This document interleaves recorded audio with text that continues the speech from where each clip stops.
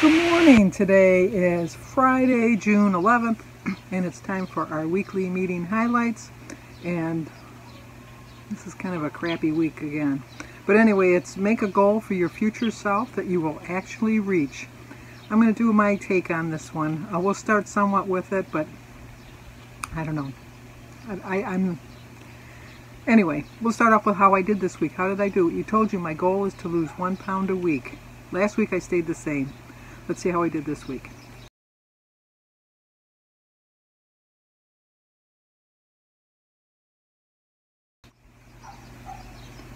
I'm happy with that. I really am.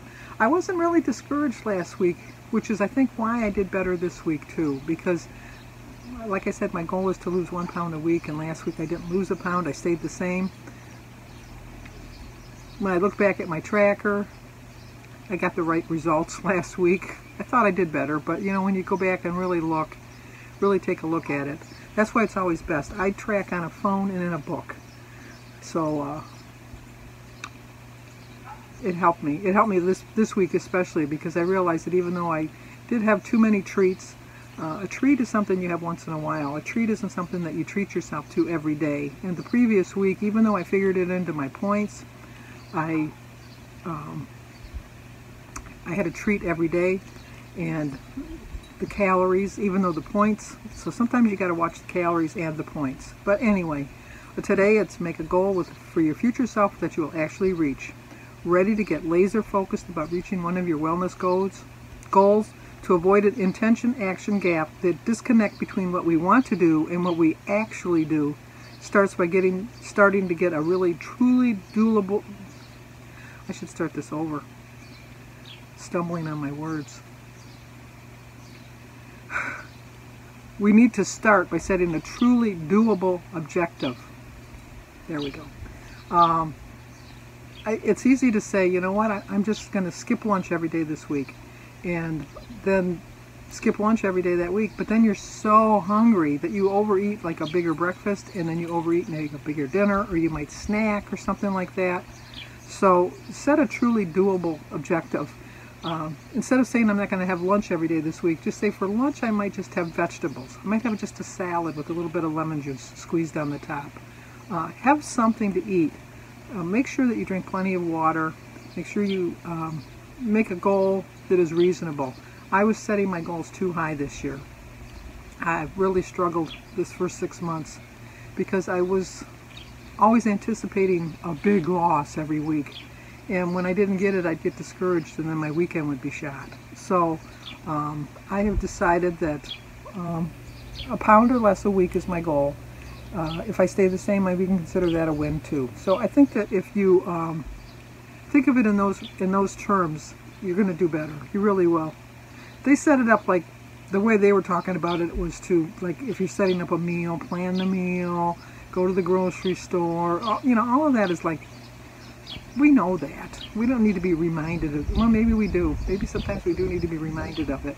But um, you know, if you if you have the, the right intentions, you can achieve your goals. And if you just have beyond expectation expectations, expectations, um, you, you're just not going to do it. You're just not. Excuse me. This Simply Light orange juice in this 8 ounce glass is only 3 points. This is like a treat to me. It's like a luxury. Because I, I, love orange juice and I stopped drinking orange juice because it was so many points. I think a full 8 ounce, like a full regular uh, orange juice is like 6 points. But the Simply Light for three points, and I don't get paid by them. It's just, I, I just love it. I love their Simply Light products. The lemonade is only one point, the Simply Light lemonade, the regular for eight ounces. That's a pretty good glass, pretty big size glass for eight ounces. So, anyway, back to the program. Commercial is over. Try this. Ready to make a change or break and try something new? Break down your goal with these simple steps so your intention becomes your action. We all know that. We all have really good intentions, but we have to follow through on those intentions. And if we don't follow through on the intentions, they really do no good. So the first thing you have to do is ask yourself, what's your goal? Um, is it walking? Is it losing a pound a week? Is it just staying the same? Is it just living a better life? Is it financial or anything like that? You have to set a goal. You have to make sure that you know exactly what it is that you're striving to achieve. Um, you can't just like, oh, you know, maybe I'll go for a walk today. You have to say, today I'm going to go for a walk. And you have to fit it in. Then they ask you when and where will you do it. Okay, if I'm going to go for a walk, I'm thinking, do, am I going to get in my car and drive to a mall and then I can walk around the mall? And yeah, that would be nice. The nearest mall is probably about a half hour away, but then I could shop, you know. So then I have an intention that I'm going to go there, do my walking, and then maybe reward myself by buying myself a new watch band or something. but uh, think of things like in that in that sense. And also, anyone be with you. Um, I always find that it's easier to achieve your goals if you include someone else. This doesn't necessarily mean that they have to be on you, but it's someone you're accountable to. They don't have to call you up every day. Did you go for your walk? Did you go for your walk?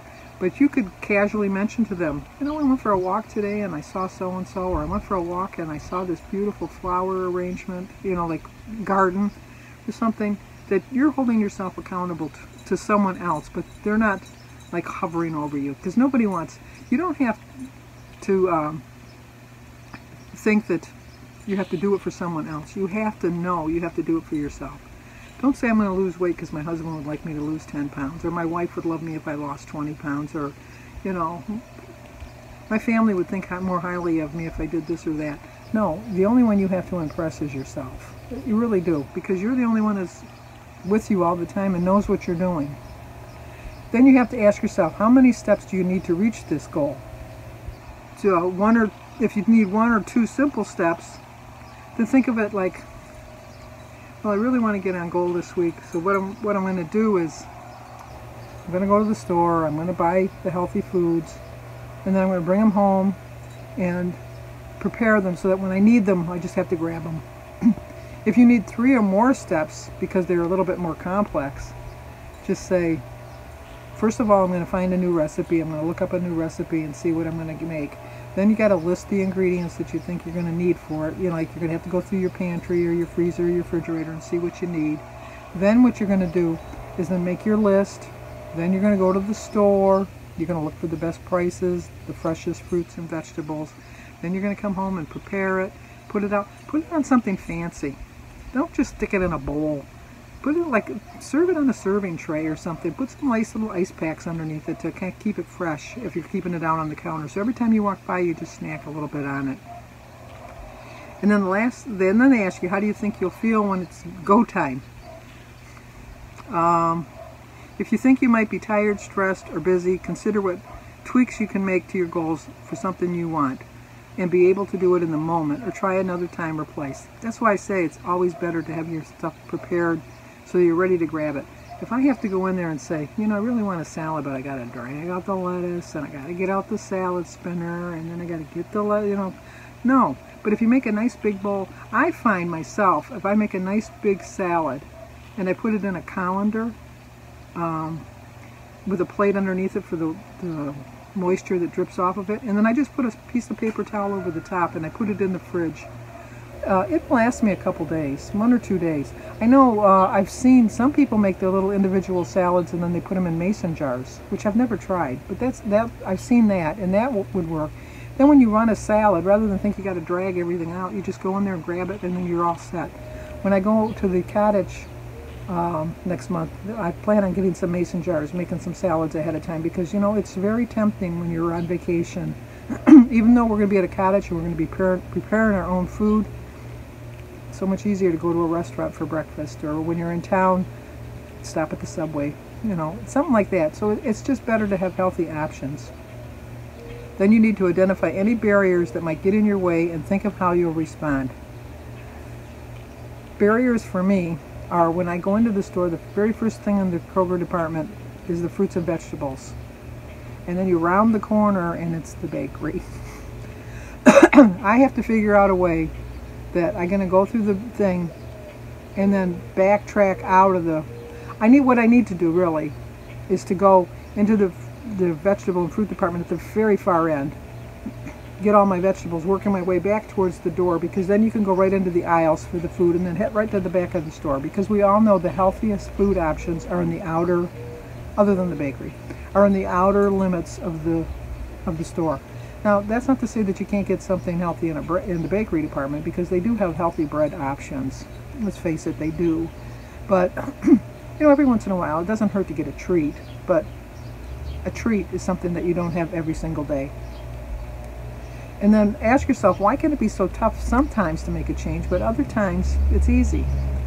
I think it's just your frame of mind. Every day we have a different frame of mind. At least I do. I can wake up today all gung ho, and then tomorrow, for whatever reason, when I feel like that the next day, like when I have a really good day today, and then tomorrow, let's say I wake up and I'm thinking, you know, I, I just don't want to be on it today.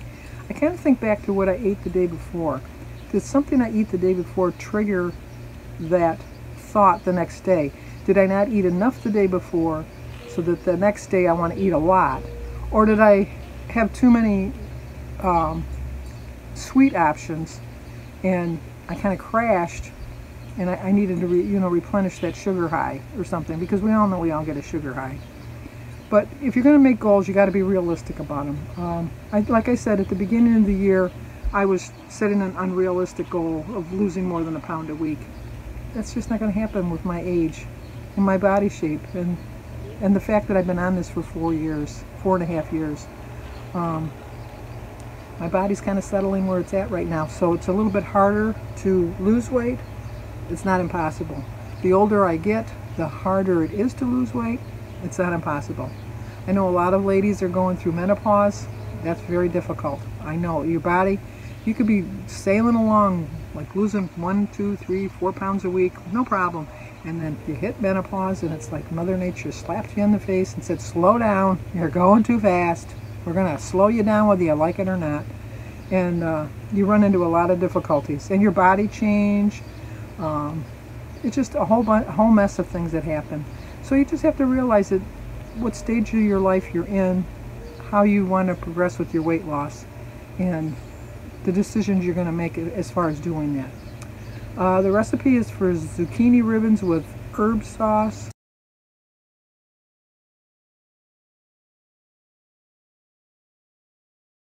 Or as my family calls it, herb sauce.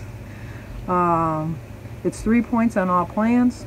It's tomatoes, basil leaves, you lost me at cilantro leaves, parsley leaves, mint leaves, chopped chives, garlic, extra virgin olive oil, Parmesan cheese, salt, black pepper, and of course the zucchini. I know uh, pretty soon all the zucchini breads are going to start showing up, but this would be a nice little, nice little change. I don't know that I'll ever. Oh, I don't have a food food processor. I think I've asked this before, but is a food processor and a blender? Can you use a blender like a food processor? I know it's not the same thing, but is there a what do you call it? A, you know, like it'll say like pulsate and all that. An option, you know, that you can use on the uh, blender that you can use as a food processor. I really don't know, but it does look, it does look pretty good for me at least. Jim wouldn't eat it because it's too green. but anyway, lost a pound, 82 pounds total. I'm really happy with that. But anyway, next week we're on to another pound. Maybe next week I won't lose a whole pound because I lost a whole pound this week. But you know what? Anything I lose next week, I'll be happy with. That's my new goal this year. It's my new mantra. And uh, I'm going to set a goal of uh, knowing that I'm going to reach my reach my goals this year. I really am. It might take me a little longer than I had hoped, but I'm going to get there. If you're new to my channel, please subscribe, leave a comment, hit that like button, share if you think somebody might like to see this. Remember to believe in yourself. Always believe in yourself.